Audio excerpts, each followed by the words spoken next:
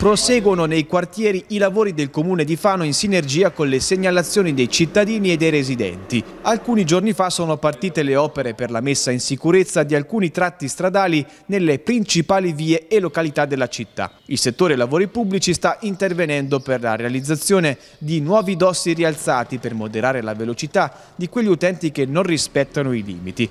Primo luogo ad essere interessato da questo tipo di intervento è stata la zona residenziale di Ronco San Baccio, dove i numerosi cartelli affissi dai residenti che invitavano gli utenti a rallentare non sono serviti a nulla. L'amministrazione sta intervenendo in alcune vie della città con eh, degli interventi di moderazione della velocità.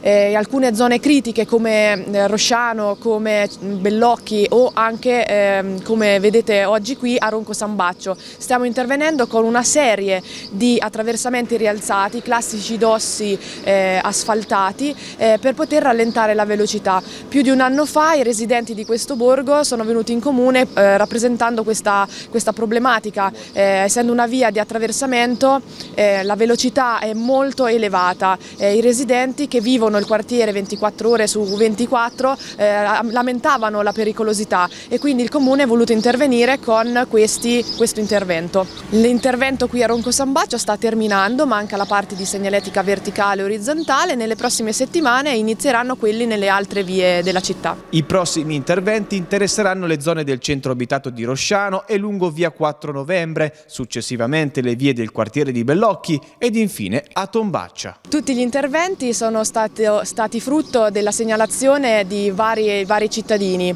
ma soprattutto qui a Ronco San Bacio c'è stata, stata una grossa collaborazione con i residenti, un gruppo cospicuo, eh, abbiamo fatto tantissime riunioni anche qui sul posto per capire dove posizionare precisamente i dossi, dove potevano dar fastidio o meno e quindi posso dire che c'è stata una grande collaborazione e ringrazio appunto tutti i cittadini attivi di questo splendido borgo.